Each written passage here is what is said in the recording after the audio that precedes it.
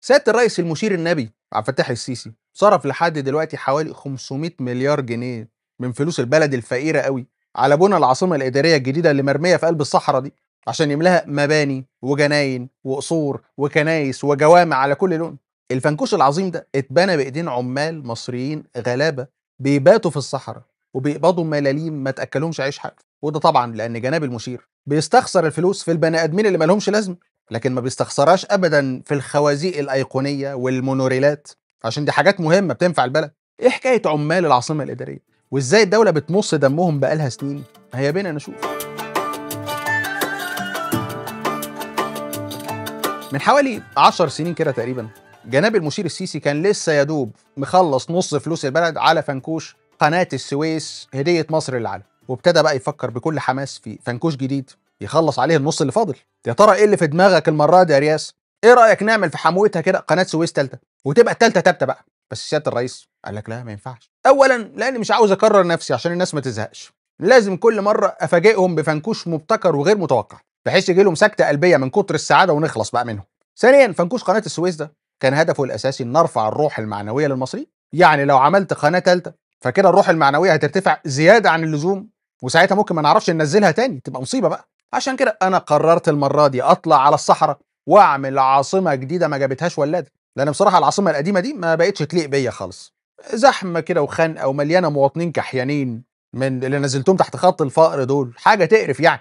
العاصمة الجديدة دي بقى إن شاء الله هتبقى عبارة عن فنكوش عملاق كده محطوط جواه مجموعة فناكيش صغيرة مرصوصين جنب بعض. وزارات وجناين وبرلمان ودار أوبرا ومدينة رياضية وخوازيق أيقونية ومونوريلات وليلة كبيرة قوي المشروع الجميل ده هيكلف شاكب راكب كده حوالي 58 مليار دولار بس. يا بلاش والله بس اوعى تقلقوا يا مصريين العاصمة الجديدة دي مش هيتصرف عليها مليم من موازنة الدولة. قال لا أمال هتجيب فلوسها منين يا رياسه هتبيع صيغة طنط انتصار ولا هترهن قصر من قصورك ولا تصرف عليها من ورث أمك؟ السيسي قال لا محدش له دعوة الفلوس هتنزل عليا من فضل الله.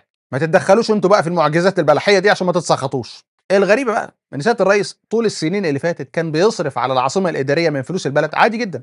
الموضوع ما كانش فيه أي معجزات ولا حاجة إن شاء الله. مش بس كده ده راح استلف بتاع 20 قرض من صندوق النقد الدولي وضيعهم هم كمان على العاصمة الإدارية اللي لحد النهارده لسه ما خلصتش ومحدش عارف هتشوف النور إمتى. رغم إن البنى فيها يعني ابتدى من 10 سنين بحالهم. يعني إحنا لو كنا بنبني قارة جديدة مش عاصمة إدارية كان زمانها خلصت من زمان. مين بقى يا ترى اللي كان بيبني الفنكوش العظيم ده؟ طول العشر سنين اللي فاتوا. سياده الرئيس وولاده شالوا القصع على كتفهم وبنوا العاصمة بإيديهم؟ ولا سياده اللواءات خير أجناد الهيئة الهندسية هم اللي قاموا بالليلة؟ ما لك لا. دول شغلتهم إن هم ياخدوا اللقطة وينهبوا فلوس البلد ويضيعوها بس. إنما البنى بقى ده مسؤولية العمال الغلابة. بس طبعا العمال دول يعني لازم يكونوا عارفين من أولها كده إن هم بيقوموا بعمل وطني عظيم. فما ينفعش يبصوا للماديات والأجرة والحقوق والكلام الفارغ ده. هم يشتغلوا 24 ساعة ويرضوا بالفتافيت اللي الدولة هترميها لهم كل شهر من سكات ويحمدوا ربنا ويبوسوا إيديهم وش وظهر.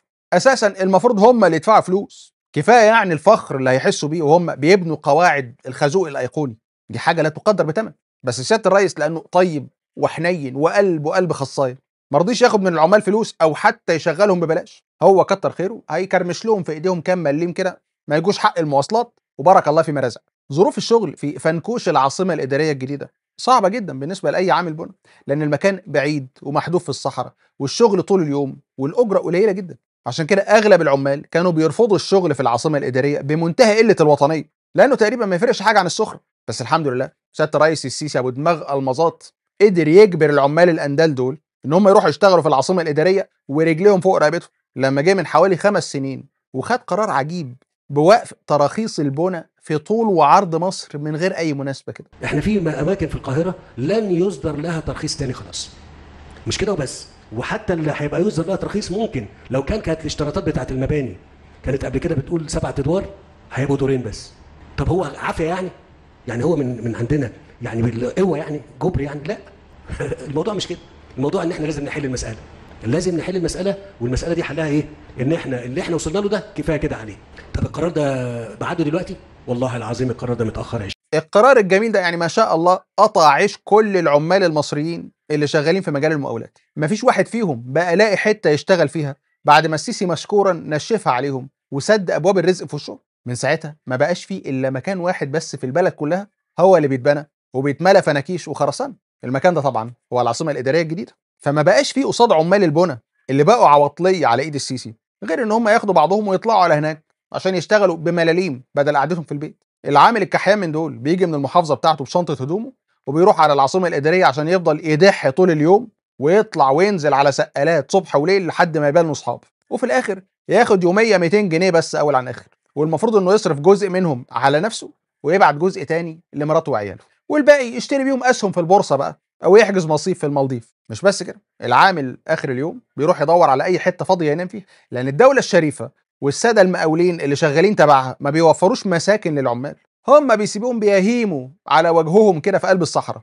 اللي ينام على لوح خشب واللي يفرد ظهره على إشكارة أسمنت واللي يسرح في الجبل لحد ما يلاقي كهف فاضي يبات جواه. كل واحد يتصرف بما عرفته بقى. إحنا ما خلفناهمش ونسيناهم وللأسف أغلب العمال بيضطروا يرضوا بالوضع الغير آدمي ده لأن مفيش بديل. وطبعا الدولة والمقاولين عارفين كويس قوي إن العمال مجبرين يشتغلوا وما عندهمش حل تاني. فبيستغلوا الموقف وبياكلوا حقوقهم وبيدوسوا عليهم بزيادة.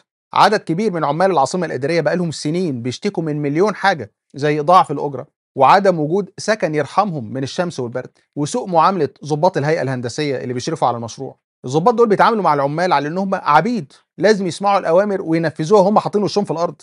وأي عامل ينطق بيتشتم ويتهان وبيطرد من الشغل من غير حتى ما ياخد أجرته. وطبعا ما فيش قانون في البلد بيجيب له حق. لأن سيادة الرئيس نسي يجيب قانون معاه وهو بيعمل الجمهورية الجديدة. الأهم من كل ده بقى إن العمال حاسين طول الوقت إن هم بيشتغلوا في حاجة ما تخصهمش. بيبنوا مشروع ضخم مصروف عليه مليارات من فلوس البلد لكن لا يستفيدوا منه ولا هيقدروا يعدوا من جنبه حتى بعد ما يكمل.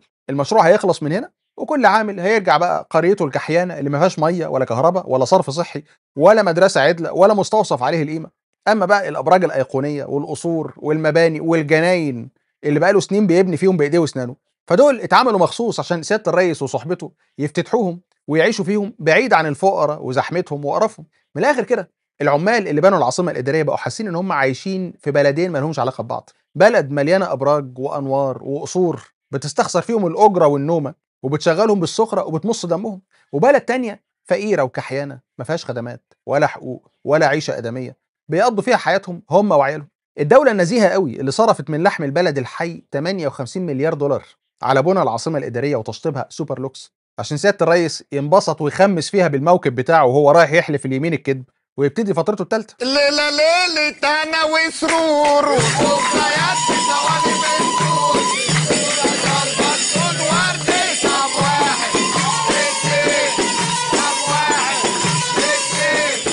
أو الدولة دي هي نفسها الدولة الفقيرة قوي اللي بتستخسر تدي الأجرة للعمال اللي بنوا العاصمة الإدارية. وبتبيتهم في الصحراء عشان البرد ياكلهم.